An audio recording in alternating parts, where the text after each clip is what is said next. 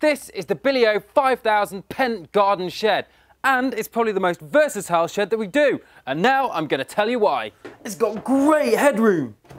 Enjoy the fresh air thanks to this opening window. It's super strong.